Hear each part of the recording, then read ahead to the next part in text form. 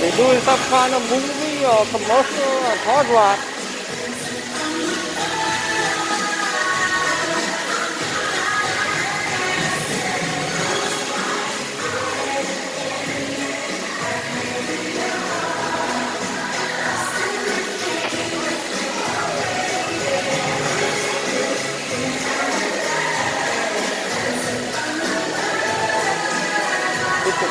Thank you.